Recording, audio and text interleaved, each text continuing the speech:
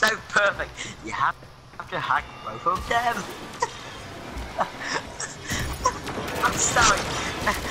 Oh yeah, it's just, it's just, Alright, we're out. Let's go in. There's the so beam sorry, it's so perfect. the. Find it.